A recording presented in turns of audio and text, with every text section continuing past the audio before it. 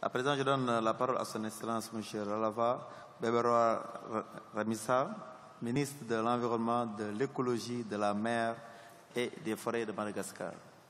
Monsieur le ministre, vous avez la parole. Monsieur le Président, Excellences, Mesdames et Messieurs les ministres, honorables délégués, Excellences, Mesdames et Messieurs, je m'associe au précédent orateur pour adresser ici mes remerciements au pays hôte, la France, pour les efforts louables qu'elle a déployés en assurant pleinement la présidence de cette COP ainsi que pour son hospitalité exemplaire. Mesdames et Messieurs, la 21e conférence des partis se situe à la croisée des chemins, dans la mesure où elle doit impérativement déboucher sur un accord permettant de lutter efficacement contre le changement climatique.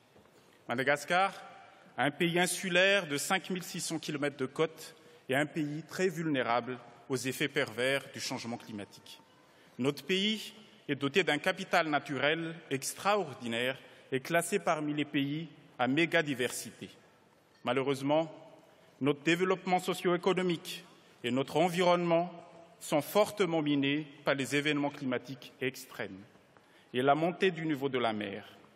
La perte des récoltes, la destruction des infrastructures sociales, de transport et de production, la famine et malnutrition sévère, ainsi que les dégâts associés aux maladies émergentes se chiffrent à plusieurs centaines de millions de dollars par an, sans parler des sinistrés et des pertes en vie humaine du moment où la surface du globe se réchauffe seulement à moins de 1 degré Celsius.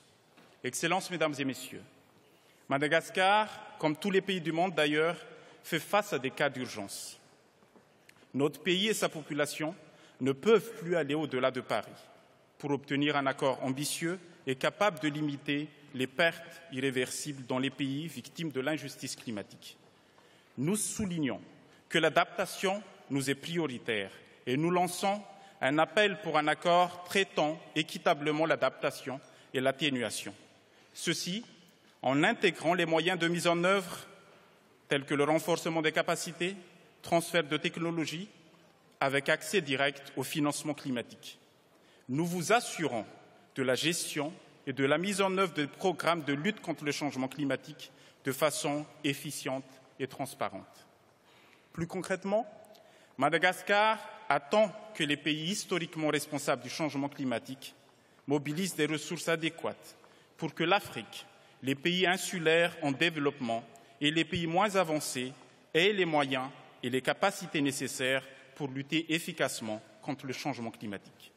Excellences, Mesdames et Messieurs, Madagascar fait appel à la mise en œuvre immédiate d'actions présentant des avantages multiples, aussi bien pour la sauvegarde de notre population que pour le stockage de nos réservoirs génétiques, comprenant les espèces rares et menacées.